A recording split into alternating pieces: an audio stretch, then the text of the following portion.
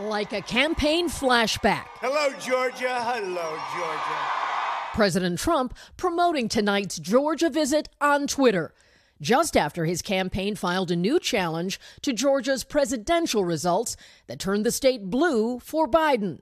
In a virtual campaign event Friday, Barack Obama urged Democrats to help a Biden presidency succeed by giving him a Democratic led Senate. You need to understand this is not just about uh, Georgia. This is about America and this is about the world. Uh, and it's in your power to, in fact, uh, have an impact. Democrats need to win both seats in the January runoff to take control of the Senate.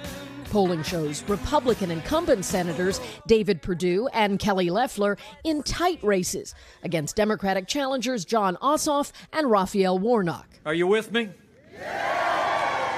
Campaigning in Savannah Friday, Mike Pence focused on the future. The road to the Senate Republican majority runs right through the state of Georgia.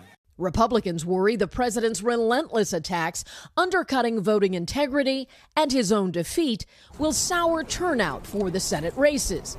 Senator David Perdue, who has not publicly acknowledged Biden's win, appeared to do so in a video meeting with the Republican Jewish coalition obtained by the Washington Post. If we can keep the majority in the Senate, we can at least be a buffer on some of the things that the the, uh, the Biden uh, camp has been talking about in terms of their foreign policy. RNC chairwoman Ronna McDaniel tried to thread the needle between the president's unproven claims and turning out the vote. And we're not giving up. But the best way to fix it is to send two senators to Washington who are going to fight for election integrity so this never happens again. And runoff races are the most difficult to predict as far as which voters will turn out. And today, Melania Trump, the first lady, will be joining the president. That's something we haven't seen on the campaign trail very often. And it's just one more sign of how important this runoff is to Republicans and arguably on the other side to Democrats as well.